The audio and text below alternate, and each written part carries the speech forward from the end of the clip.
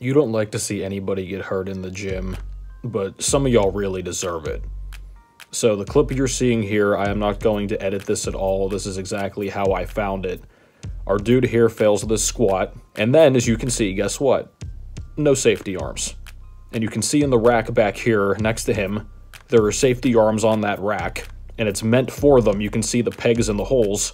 So this guy just simply didn't put any safety arms inside of the rack, and instead of failing this comfortably and being able to just roll it off his back, he now has to sit here in the ass to grass position with this weight on his back. Again, not edited, waiting for somebody to come help him. He could have just simply rolled it off of his back too, and it could have hit the ground. I guess he doesn't realize he can do that. Either way, though, why are you guys not using the safety arms? The gym has built-in apparatuses to make these things possible to fail in a safe manner, and you guys just refuse to use them. So keep being stupid and let Darwin win.